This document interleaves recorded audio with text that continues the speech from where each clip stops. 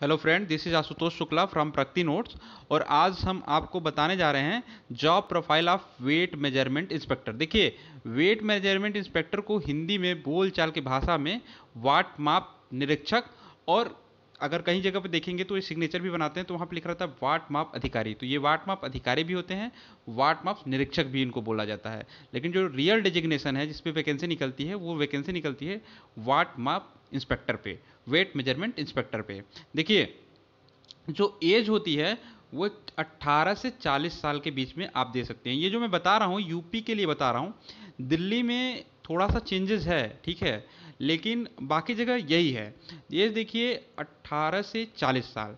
और इसका जो ग्रेड पेड है वो 4200 पे है और जो भी मैट्रिक पे मैट्रिक स्केल जो सतवां वेतन आयोग लगा है, उसमें पैंतीस हज़ार चार सौ से स्टार्ट होता है, ठीक है? तो सैलरी आपकी बन जाएगी अप्रॉक्स पचास हज़ार। देखिए, इस विभाग के बारे में ज़्यादातर लोगों को पता नहीं है, लेकिन ये बहुत ही रिस्पेक्टिव और बहुत ही अच्छी जॉब है, क्योंकि इसका जो क्रिएशन है वो सन 2009 में हुआ है, जब कैबिनेट ने मंजूरी दिया था। तो 2009 से ये विभाग बना है। इससे पहले विभाग था, लेकिन वो लीगली नहीं था।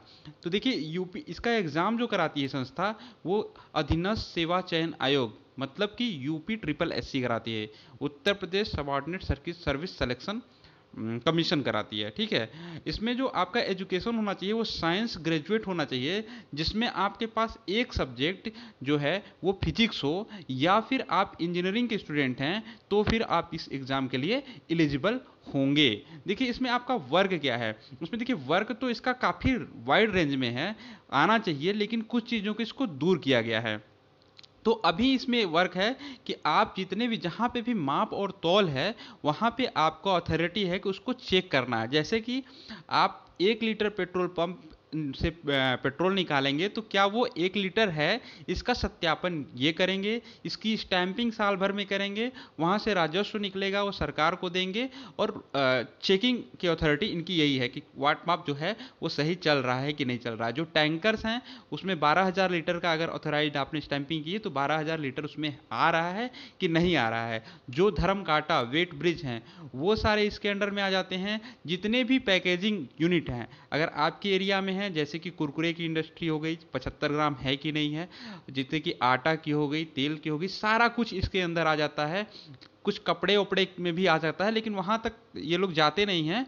और इलेक्ट्रिसिटी जो आपकी मीटर की बिल की बात है, ये भी चल रही है कि वाट माप को दे दिया जाए, लेकिन अभी वो इलेक्ट्रिसिटी जो है वो निगम के पास है तो इलेक्ट्रिसिटी का अधिकार अभी इनको नहीं मिला है। अब आइए हम प्रमोशन के बारे में बात कर लेते हैं। देखिए प्रमोशन इसमें जो है, वो पहली ज्वाइनिंग आपकी जो होगी वाट माप निरीक्षक डब्ल्यूएमआई के के रूप में होगी। उसके बाद आप जो है सीनियर डब्ल्यूएमआई हो जाएँगे, और उसके बाद आप असिस्टेंट कंट्रोलर पे आठ दस साल सेवा करेंगे तो आगे भी आप जा सकते हैं एडिशनल कंट्रोलर भी बन सकते हैं, लेकिन वहाँ तक लोग जाते नहीं हैं। देखिए, ये मिनिस्ट्री फ़िलहाल में मुख्यमंत्री जी योगी आदित्यनाथ के पास है, और एक चीज़ मैंने बताना भूल गया कि अगर आप दिल्ली से हैं तो आपको एमएससी होना चाहिए, इसी भर्ती के लिए। अगर आप यूपी में हैं तो आप बीएससी पे भी अगर फिजिक्स सब्जेक्ट है तो आप हो सकते हैं, लेकिन अगर आप वहीं दिल्ली के हो जाते हैं तो आपको इस भर्ती के लिए वहाँ पे जो डीएसएसबी बोर्ड है, वो एमएससी माँगता है। तो अलग अलग जगह पे थोड़ा सा क्वालिफिकेशन में अंतर है। बाकी जो मैंने काम की प्रोफ़ाइल बताई प्रमोशन बताया,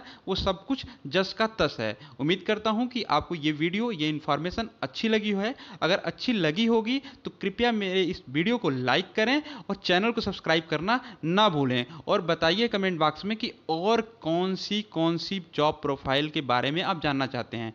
Thank you very much have a nice day bye